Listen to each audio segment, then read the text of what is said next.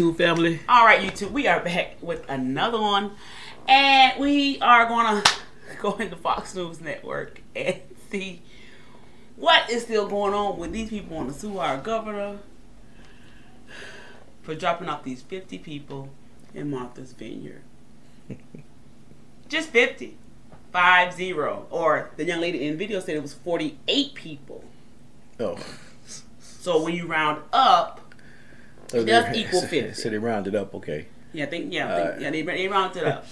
so, uh, yeah, I, I just I, I don't get it, but we'll never get it. All right, you ready? Mm-hmm. Let's get it. We begin with record-breaking numbers on the Biden border crisis. Agents now reporting 2 million encounters with illegal immigrants so far this fiscal year, more than five times the amount they had when President Trump was in office. But that's not all. We have also just learned agents have arrested 78 suspected terrorists at the border, which is more than triple the previous five years combined. Wow. Oh, but Democrats aren't talking about that at all. Oh, no. They're preoccupied instead with the 48 migrants that went to the posh and ritzy island of Martha's Vineyard. And now, Sheriff Javier Salazar, a Democrat in Texas, is launching an investigation into those flights. But Governor DeSantis quickly pointed out the hypocrisy in that. Watch. I believe that they were preyed upon. Somebody came from out of state, preyed upon these people, um, lured them with promises of, of, a better life, which is what they were absolutely looking for, to just be uh, exploited and uh, hoodwinked into making this trip to Florida and then onward to Martha's Vineyard for what I believe to be nothing more than political posturing uh, to make a point. Yet 50 uh, die in Texas in a trailer because they were being neglected. Was there a freak out about that? Nope. No, there wasn't. Nope. You've had mm-hmm. criminal aliens get across that southern border and victimize Americans, killing some, raping some.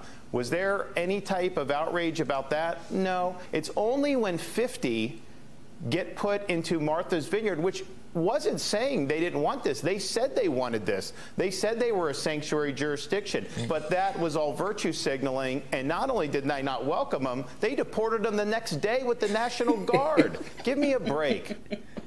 Give me a break indeed, Jared. So 2 million across the border, 78 on the terrorist. Where's the outrage? But 48 in Martha's Vineyard, and all of a sudden Democrats seem to wake up.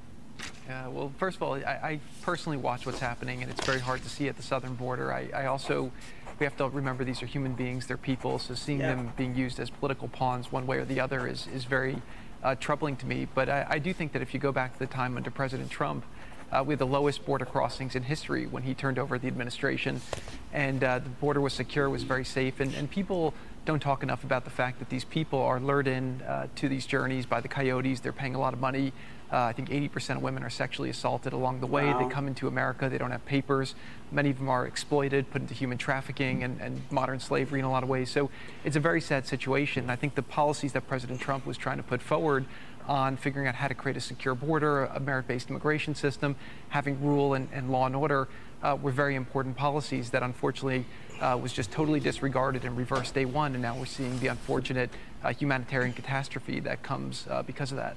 And that's such a great point, you know, these, these millions of migrants that are being lured by the criminal cartels, and yet Democrats say that DeSantis lured migrants to Martha's Vineyard. That's why it, it's so laughable, but really difficult to stomach um, against the backdrop of a humanitarian cat catastrophe, to your point, which is why, um, which is why this is so heartbreaking. And I wonder your thoughts on the argument that while this administration pur purports to be compassionate, they are anything but. It's frankly cruel dismantling mm. President Trump's policies and their lack yes. of any type of strength at the border now is frankly cruel. Yeah, well, actually, for me, a lot about what I wrote about in my book was my journey from being on the Upper East Side of New York and being in the echo chamber of the media and maybe a, a, little bit more liberal echo chamber. And then they would say the things like the wall were racist and xenophobic. And, you know, as I traveled the country and I understood, you know, what was really happening, I realized that a lot of these policies are just common sense. It's about protecting American sovereignty. Uh, the wall is, is, is, actually a very fundamental thing. The Border Patrol agents, it would give them uh, a lot of big, uh, big uh, operating leverage in order to uh, do their jobs better. It prevented a lot of drugs. It prevented a lot of uh, criminals from coming into the country. And President Trump built 470 miles of wall uh, during his time because it was so successful. The migratory patterns started to change. And what happened was is he'd ordered another 230 miles of wall that was paid for, was going to be built, which the Biden administration has just been sitting there uh, squandering. So if a lot of that would be happening, American lives would be saved, and a lot of these people would be deterred from coming, uh, which I think would, would prevent a lot of death and it would prevent a lot of uh, Yeah. sexual exploitation. Yeah. Gosh, that's so hard to hear, Kayleigh. Now, against the current backdrop of anything but, of anything but saving American lives or acknowledgement of the lives being lost because of the drugs pouring across the border and also the lives and security of those migrants as well. Exactly. Um, you want to talk about a humanitarian catastrophe? Well, let's talk about it. Um, first, I saw this CNN headline and I just had to laugh. And it's a quote from a resident of Martha's Vineyard. They enriched us. Migrants' 44 hour visit leaves an indelible mark on Martha's Vineyard. It was 44 hours because these migrants were shipped out of Martha's Vineyard. In it, there is an account of a woman who sat down with a migrant who said, uh, the migrant said, Let me show you a video on my phone. And the migrant shows this video of her walking through the jungle, you know, hazardous terrain alongside other migrants. And she said, this one died, part of the original party, and he died, and this one died. The mud is like up to here to them, and you see that they are literally unable to lift their legs out of the mud. This is a migrant pointing to the other migrants who have died. Wow. Why are they dying? Because of President Joe Biden not looking into a camera and saying, do not come, do not make the dangerous journey. When has he Okay, so why is that not being mentioned that so many are dying just to get here? This just the trip alone. Ain't nothing being done. I mean, we Well, talk. we talk about it. Everybody's talking about it, but you know, it's, it's and I understand it. You get the laughs off of it, but like she just said, you got people dying. You got people and dying. nobody's saying anything. You know what I'm saying? It's it's no outrage. You know what I'm saying? It's no gathering of you know the Democrats and Republicans getting together trying to figure out something. Nothing's being done. Okay, so what was done with the trailer when uh, when those people died? Those women and children as well. They're just they're just as important when they were in the back of that that tractor trailer truck in Texas. Why aren't their lives important? I mean, if we, we, we consider if we consider the whole picture of it, they're they're they were people too. Uh, I just think this this this border thing should have been done a whole lot better. Yeah, it could have been done a lot um, better. they don't care. You know, it's it's a, it's the Democrats. You know, uh, really at the end of the day, we should have more um, Republicans after this. Think I think we it. just need more compassion. I mean, I get I get the compassion, man, but it's like it's like they're not it's just it's, it's about the next vote. Maybe. I was reading one of the comments too, um, on this particular video, I think it was, and it was just saying how, let's say somebody gets off an airplane here without a passport or you know documentation to get in the United States, they're gonna TSA is gonna like tackle them down or whatever. They're gonna get arrested for trying to get into the United States, you know, off an airplane, off an airplane. So what makes this any different? You said that. You said TSA tackle them down, right? I thought Yeah. about I thought about Walmart. You know, when, You're so when they let you walk around Walmart all day, but when you go out there do it, that product, they got some tackle tackle me down tackle you. boys. Yeah. So it's the same, but but but but, but seriously, it's, it's crazy. You can you can't get off an airplane at any airport and not have proper documentation to get back in the United States, or you're gonna get tackled and arrested. But you can come across the border free and clear when people are doing it the right way. I, I just don't get it. he said that. That would be the responsible thing to do. Because while Governor DeSantis is sending mar- migrants to Martha's Vineyard, Joe Biden is sending them through the Darien Gap, a 66 mile stretch of jungle where most people don't make it out alive. Yeah. This is a humanitarian catastrophe, which is why you no longer have DHS publishing the number of migrant deaths on their website. And this is where GOP. This is what you need to be talking about. There Yeah. are people dying every day. Yeah. I watched a two year old get swept out of her mother's arms and die in a river trying to cross the southern border. This is happening. We are the party of compassion. Joe Biden, until you look in a camera and do what the Guatemalan president said, who said you're sending the wrong message, until you listen to the Mexican president, who said you're the migrant president, you're not compassionate. You're not going to own that word, and your party's not going to own that word. Oh, Harris. I mean, that, that that's one story of millions, Yeah. and that's absolutely heartbreaking. And the worst part about it is that it's preventable. To your point, to your point, it is absolutely preventable if this administration would acknowledge and do something about it. I do want to say this. We are a nation of compassion. It's not just a party thing. We are a nation. We have clothed, fed, and fought for more people on this planet than any other country. Now, the White House doesn't seem to remember that or know who we. But that's the thing. That's what I'm saying. If they pull together, the Democrats, Republicans, in the White House, and figure something out, man, and come up with a solution instead of fighting one another, Yeah. trying to prove each other wrong. That's Yeah. the problem, man. You know, and, and it's sad because it's just like she just said. I didn't know they was stuck in mud like that. You know, traveling don't like hear that. that part. You You know, don't that's hear good that. to hear, man.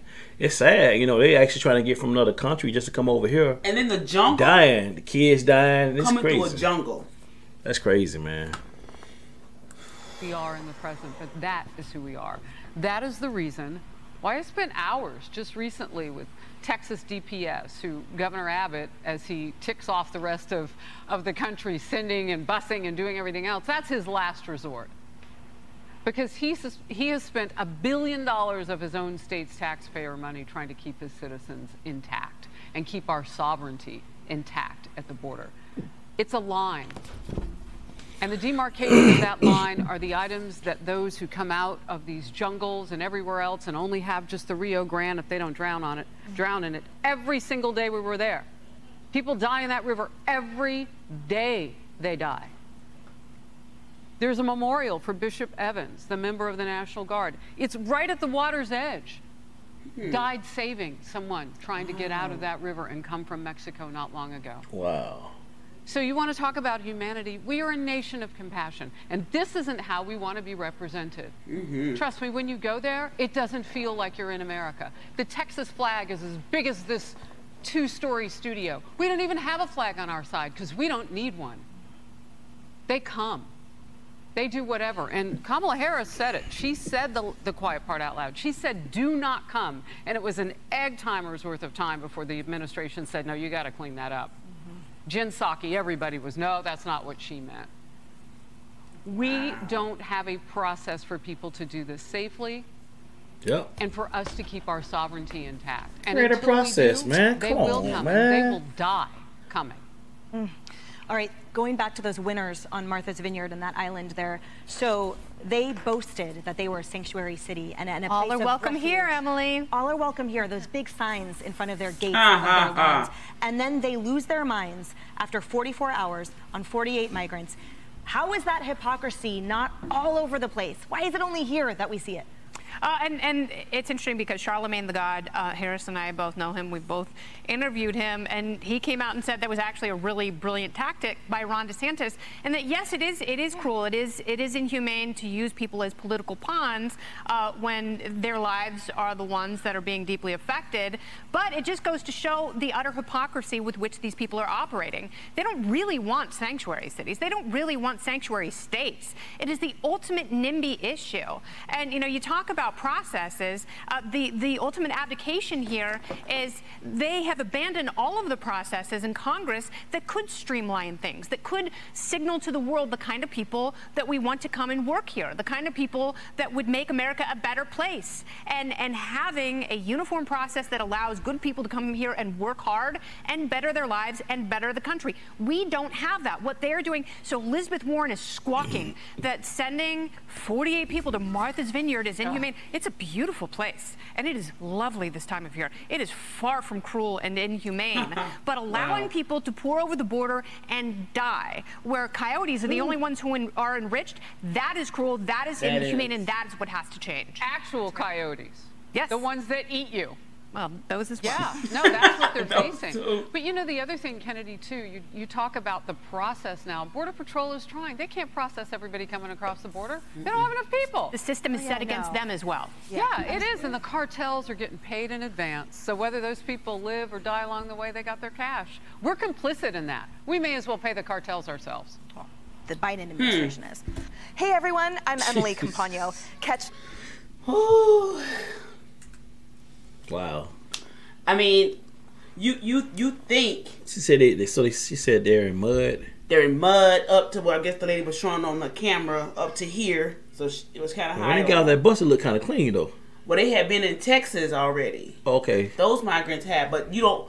You only see the video when the migrants get close to the border of Texas and Mexico. We didn't show the whole thing. You man. don't see when they come from Venezuela through the forest. You don't see That need to be how shown. they That- that, drown that, little in the video Rio she Grande. took, she You need to leak that, that. leak that to the public, man. so because you don't that's crazy. see that part. They need to leak the video, leak the videos. They only show them. well, the videos need to be leaked out. yeah, You know what I'm saying? That way they can see what these people going through. I'm gonna try to look up that forest. That- that's that she- crazy, that- that- man. You know that forest that she was talking about, but the Rio Grande. I mean, if you if you can't swim, babies can't swim, children can't swim through that. Mm-hmm. So imagine a parent holding a child trying to swim through that. Yeah. The It's forest. What's in the forest? Like things that can eat people. You get bit by what? Certain snakes. You just die within minutes. But we're not talking about that part. It's bigger than just an open border. Okay, but other than that, um, Wow. I, I just feel that that right there is insane. You don't think about that part. all right, you too, family. All right, don't That's forget to like one. and subscribe and continue to check us out. Peace.